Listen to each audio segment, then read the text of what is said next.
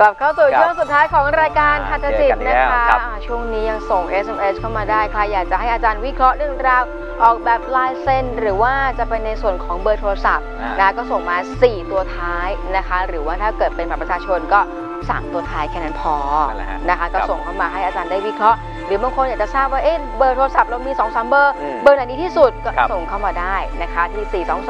422 1606 มาที่ SMS กันต่อเลยค่ะ มาที่ s อ s ดีครับ คุณวิรัตสิทธิ์มีครูครับนี่เบอร์โทรศัพท์ 2717ครับเป็นยังไง อ่าวิรัตนะฮะ ถ้าเรื่องของอาการวางรากฐานเรื่องชีวิตคุณเป็นคนมั่นใจแล้วก็วางแผนสูง แต่ บางครั้งในยอุปสรรคเจอบ่อยเพราะว่า 717เนี่ยเป็นช่วงนะกระแสเรื่องของการต้านอ่าแรงศรัทธาคุณมี แต่สิ่งที่คุณตั้งใจเนี่ยมันกำลังจะผ่านพ้นแล้ว ถ้าใช้ยาวๆเลขนี้ดี แต่ระยะสั้นต้องประคับประคองเรื่องพี่เรื่องน้องเรื่องการลงทุนสักนิดหนึ่งแค่นั้น แต่แนะนำให้ใช้ต่อนะครับวิรัตครับ SMS ต่อมาค่ะครับคุณมนัทค่ะฮะเลขบัตรประชาชน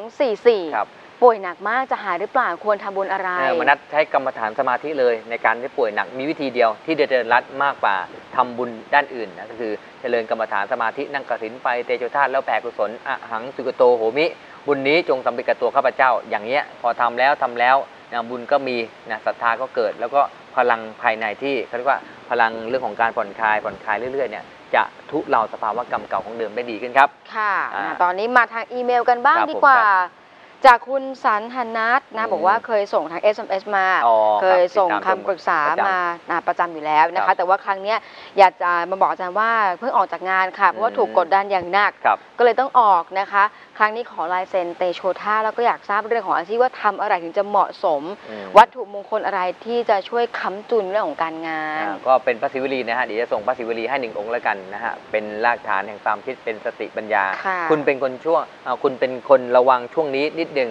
สภาวะรอยต่อระหว่างอารมณ์อยากทำงานกับเลิกทำงานอืมมันมีทำให้ท้อแท้ แล้วก็ไม่สมหวังในความคิด แต่เชื่อว่าสิ่งที่คุณเป็นอยู่เนี่ยมันเป็นสภาวะอารมณ์แค่นั้นเองค่ะแล้วอย่าใช้อารมณ์ตรงนี้มาเป็นบรรทัดฐาน คือออกก็ออกไปนะในเมื่อมันเริ่มต้นไหนไม่ได้แล้ว แต่จังหวะจากโคนของชีวิตคุณยังดีนายยังเปิดทางให้เลือดเลือดๆอยู่ ก็อาจจะเป็นช่วงนะระยะนะฝั่งนี้นะฮะปลายเดือนกรกฎาช่วงนั้น 15 วันหลังจากที่ผมวิเคราะห์ไปเนี่ยมันจะมีผลทำให้มีความสำเร็จมากขึ้น แล้วณตอนนี้นะฮะอย่าไปติดอกติดใจ อย่าไปแคลงใจกับคนที่เคยเป็นศัตรูก็ดี เคยเป็น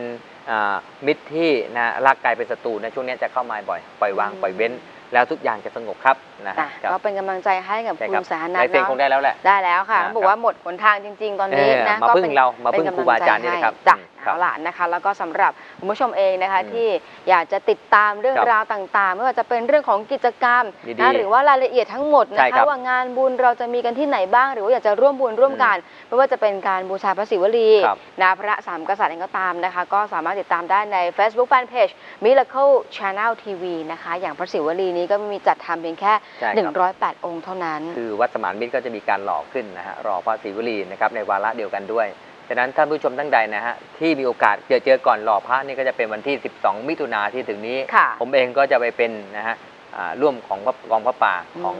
หลวงพี่วิน ของทางวัดสมานมิตรวัดสมานด้วยมิตรค่ะ แล้วก็จะมีโอกาสได้ให้ท่านได้มีโอกาสได้บูชาพระองค์เล็กก่อน จะได้ต่อยอดกันฉะนั้นชาวระยองชนบุรี